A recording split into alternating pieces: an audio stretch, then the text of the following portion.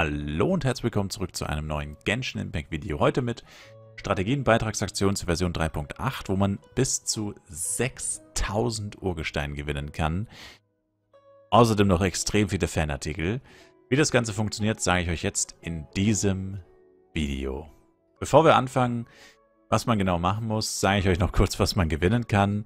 Es gibt 5 Goldgewinner, die kriegen eben 6000 Urgestein, zusätzlich Fanartikel, Silber, das sind 10 Leute, die gewinnen 2000 Urgestein und außerdem andere ähm, Fanartikel. Bronze gibt es 20 Mal, die gewinnen 1000 Urgestein und ein Geschenkpaket der Reihe Online-Konzert. Und Teilnahme, Belohnung für alle, die erfolgreich teilgenommen haben, kommen ein Strategie, Beitragsaktions, Profilbildrahmen für das HoYoLab. Was muss man machen? Man muss Strategien zur Version 3.8 veröffentlichen, in diesem Beitrag, by the way, also ihr müsst das hier oben einreichen, das ist ganz wichtig. Und ähm, dann seid ihr erfolgreich dabei. Allerdings gibt es dafür natürlich ein paar Anforderungen und Regeln. Die Bewertung des Ganzen wird von einem besonderen Bewertungsteam durchgeführt. Und das Bewertungsteam wird alle eingereichten Strategien auf Aktualität, Objektivität, Vollständigkeit, Genauigkeit, Anwendbarkeit, Darstellung und anderen Faktoren bewerten. Daher besteht die Möglichkeit, dass die tatsächlich, tatsächliche Zahl der Gewinner geringer ausfällt als quasi das hier oben. Also es wird quasi, es ist quasi vorgesehen, dass 35 Leute ausreichende Beiträge für Gold, Silber und Bronze einreichen. Es könnte aber theoretisch passieren, dass nur fünf Leute überhaupt für Bronze qualifiziert sind, keiner für Silber und keiner für Gold. Und dann bekommt das auch keiner theoretisch. Kann passieren.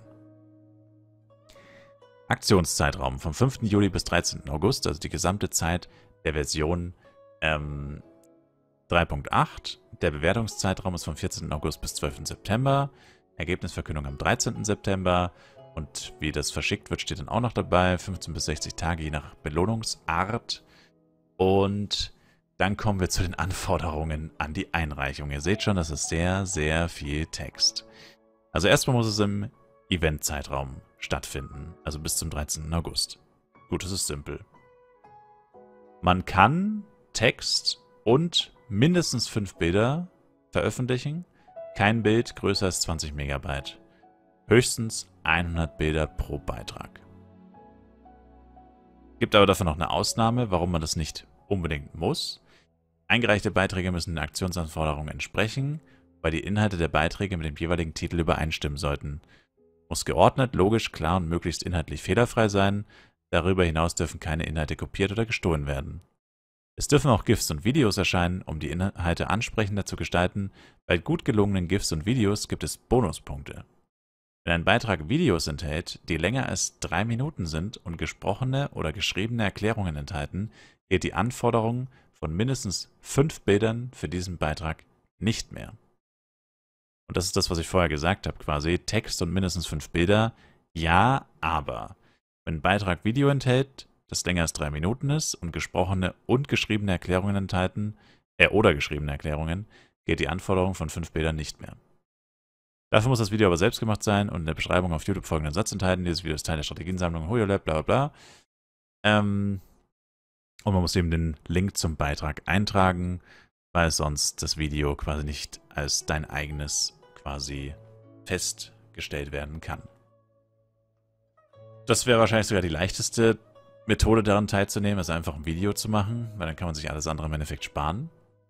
Weitere Anforderungen, in den eingereichten Werken dürfen keine Fanbilder von anderen als Beitragsbanner verwendet werden. Wenn Beiträge gegen diese Regel verstoßen, werden wir entsprechende Banner löschen. Als Banner dürfen nur offizielle Bilder, Screenshots aus dem Spiel oder selbstgemachte Bilder verwendet werden.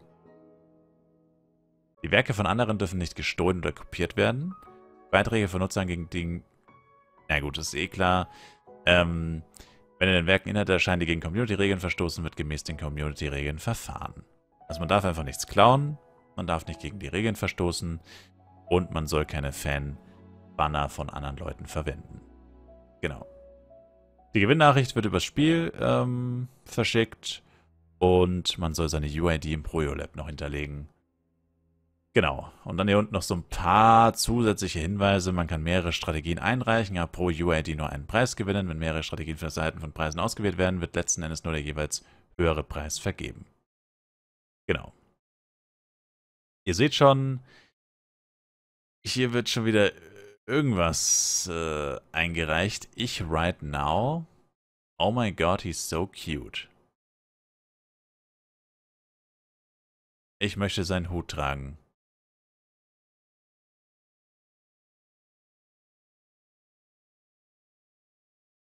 Ich bin sprachlos. Das hat absolut nichts damit zu tun, was man hier tun soll. Ähm, wie immer, mein Tipp, wenn ihr wirklich interessiert seid, daran teilzunehmen, gebt euch ein bisschen Mühe und ich garantiere euch, ihr habt eine relativ gute Chance, hier dabei zu sein. Die meisten äh, Beiträge sind kompletter, ausgemachter Blödsinn, wie das hier zum Beispiel, und die erfordern, die erfüllen einfach die Werke nicht. Ja.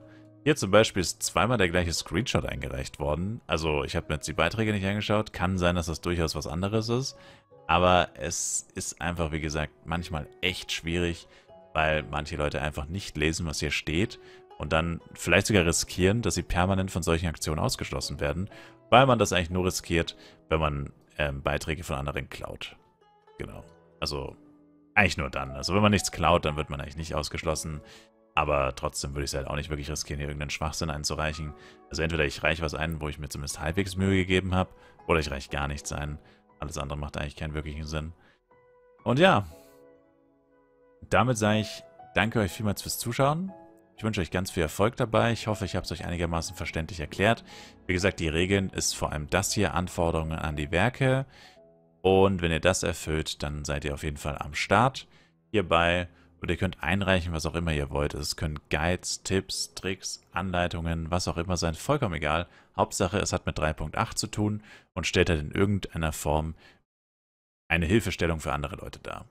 Wie genau das aufgebaut ist, könnt ihr selber entscheiden, aber es muss halt wirklich, vorher schon gesagt, nachvollziehbar, logisch und so weiter sein. Bis zum nächsten Mal mit Genshin Impact. Ich würde mich selber ein Like, Kommentar, ein Abo von euch freuen. Haut rein und ciao, ciao.